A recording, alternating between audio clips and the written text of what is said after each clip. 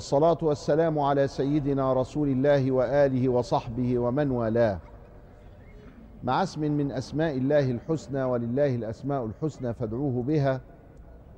نعيش مع صفة من صفات الله والتي بدونها لا يكون لهذه الحياة معنى ونكون على خطر عظيم وهي الحليم.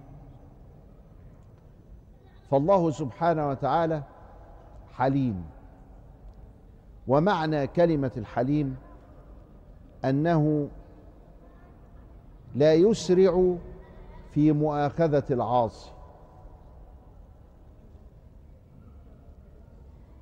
والحليم معناها أنه سبحانه وتعالى رؤوف وأنه عفو وأنه صبور. ولذلك ولأنه لا يسرع في مؤاخذة العاصي نجد في الحديث الصحيح أن النبي صلى الله عليه وآله وسلم يخبرنا عن الملائكة التي تكتب الحسنات وتكتب السيئات. فالملائكة التي تكتب الحسنات تكتبها فورا بمجرد فعلك لحسنة يبادر ملك الحسنات فيكتبها.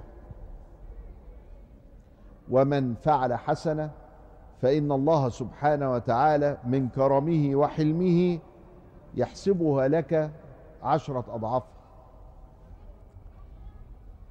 أما إذا ارتكبت سيئة فمن حلم الله أمر ملك السيئات ألا يكتبها فورا بل ينتظر ست ساعات والساعة في لغة الحديث النبوي هي الساعة الزمنية التي نحن فيها الآن.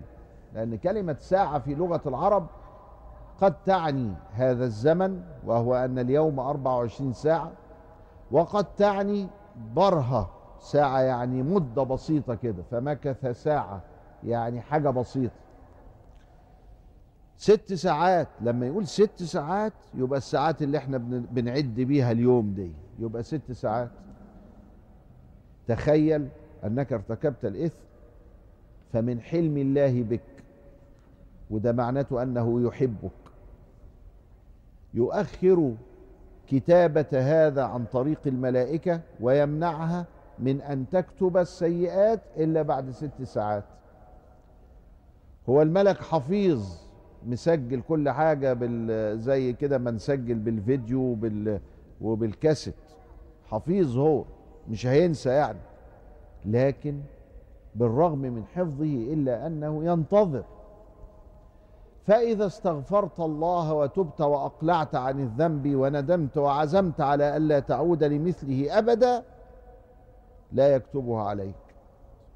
وتيجي يوم القيامة مش تلاقيها مكتوبة وممحوة مكتوبة وبعد الكتابة ملحق بها الغفران أبدا. لا تجدها أبدا وكأنك لم تفعلها. اتشالت من الملف بتاعك.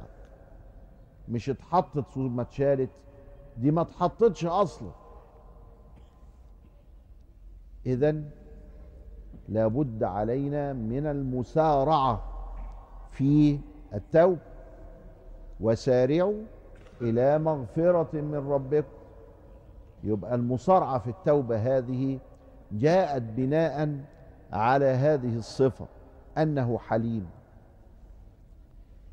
أسماء الله الحسنى تبين لنا من الله لأن كثيرا من الناس لا يعرفون ربهم ولذلك يقبلون في صفاته النقص فيتخيلونه وثنا ويتخيلونه إنسانا ويتخيلونه غير قادر أو غير عالم ويتخيلونه أنه اثنين إله للخير وإله للشر.